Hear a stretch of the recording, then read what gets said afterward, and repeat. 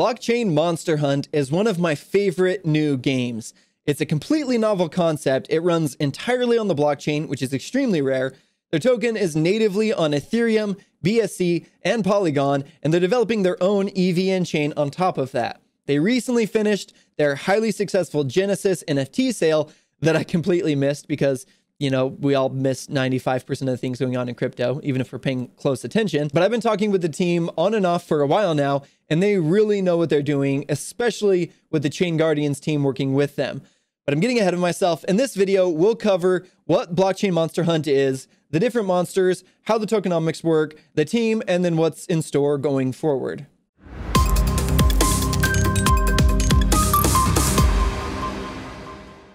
Welcome to DeFi Now. I'm Josh Cross.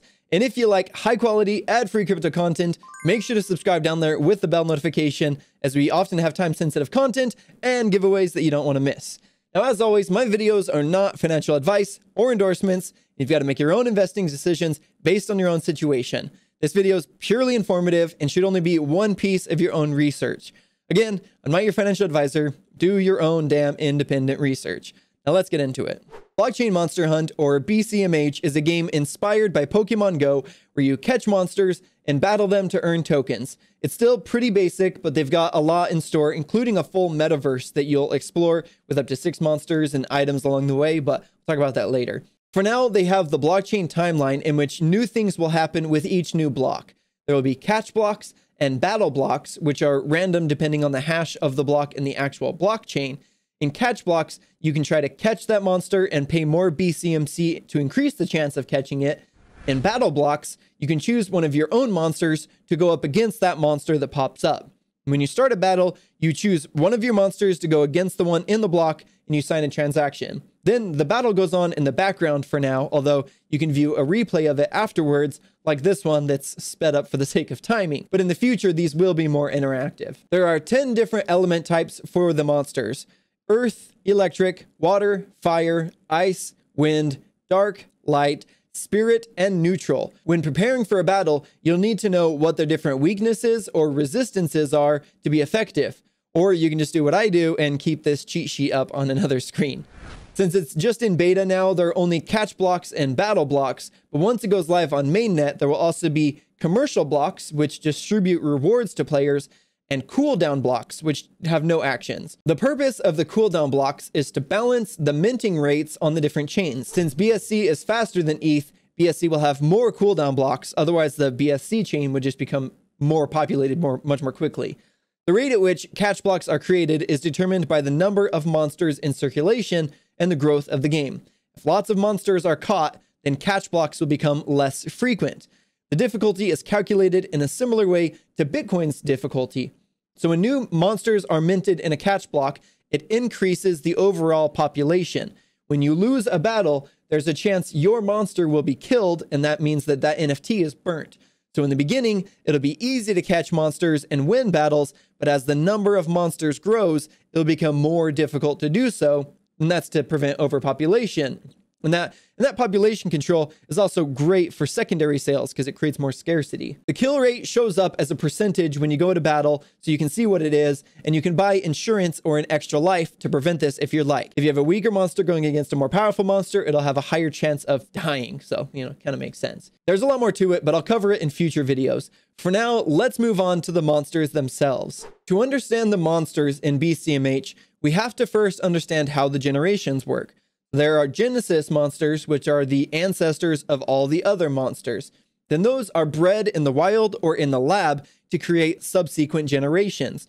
When you breed them in the lab, the goal is to continually evolve stronger monsters with better and better attributes for battle. Each monster has their own lore, which I'm definitely not making up right now. For example, legend has it Poink once ate the grandmother of a little girl with a red hood. Piney and Pioneer are the great grandkids of Sonic the Hedgehog. Poco never got over the ending of Game of Thrones, so that's why his face is frozen in anger and disbelief, like all of us. Mofu was bred among several grumpy cats, and she will mofuke you up. Hogv likes to get high on truffles, as you can tell. Sidious has feet made of rocket boosters. Haley and Bark once got together and created the greatest horror movie franchise of all time. True story. Dobu is a reincarnated scholar with his head literally in the clouds. Lamo uses her cuteness to hide the fact that she dreams of being a serial killer. Just look at her eyes. And Chilby, Chilby's cool.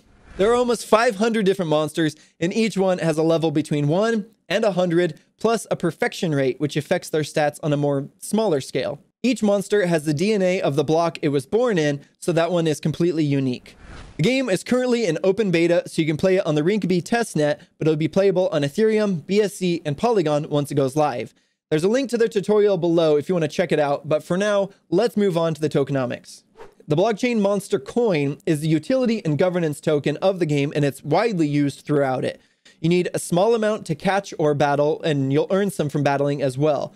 The BCMC token has only been out for about a month, but they already have a native bridge to Ethereum, BSC, and Polygon. Importantly, this bridge isn't like other bridges, which holds the native tokens on one chain and then mints wrapped tokens on the other chain. The BCMC tokens are native on those three chains, and when you transfer them, they're burned on the original chain and natively minted on the new chain. It's hard to overstate how awesome that is from a security standpoint because then your tokens are in your wallet and not sitting in a smart contract. And they're adding the same feature for the NFTs as well. So this is really cool. Now, being a DeFi channel, I have to also mention their flash loan feature. This is an awesome idea. You can put your monsters in a flash loan pool, and then other players can borrow them and use them in battle. So if a nice battle block opens up and you don't have a monster for it, just borrow one from the pool, use it in battle, and then return it to the pool all in one transaction, and then you share the earnings with the owner of the monster. Super cool idea. I can't wait to see this implemented. Now here is the distribution of the BCMC token. The total supply is 1 billion across all chains combined, which is why they must be burned on one chain to be minted on the other.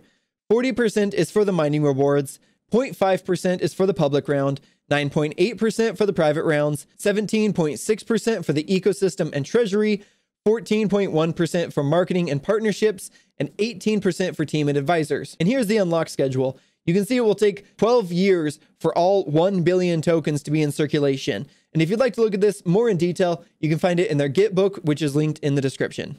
Now, as far as the team goes, one of their co-founders was a tech lead at Facebook, and the other was a senior engineer at Google. Combine that with the experience from the Chain Guardians team and then being incubated by Chain Boost, you've got a pretty strong recipe for success. I've been in direct contact with the team and they are receptive of feedback from both myself and the community, which is great to see and it gives me a lot of confidence in the long-term success of the project.